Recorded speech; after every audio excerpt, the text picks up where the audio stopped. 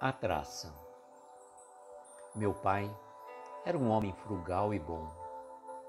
Ensinou-me desde muito cedo a entreter-me com as coisas aparentemente mais simples. Um dos meus passatempos em criança era colecionar os casulos das traças e assistir na primavera à emersão das borboletas, espetáculo, para mim, de arrebatadora beleza. A luta delas para escapar do cárcere despertava sempre minha compaixão. E um dia, com uma tesoura muito fina, papai veio e cortou a parede sedosa do casulo, ajudando o bichinho a se soltar. A borboleta, dali a um instante, estava morta. Era como se o trabalho fosse necessário à garantia de sua vida.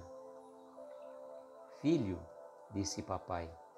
O esforço com que esta traça procura libertar-se do casulo ajuda a segregar os venenos do corpo. Se o veneno não for expulso, o bichinho morrerá.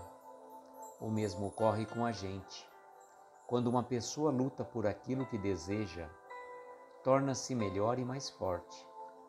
Mas quando as coisas se realizam sem esforço, tornamo-nos fracos, pusilâmines, sem personalidade, e parece que alguma coisa morre dentro de nós.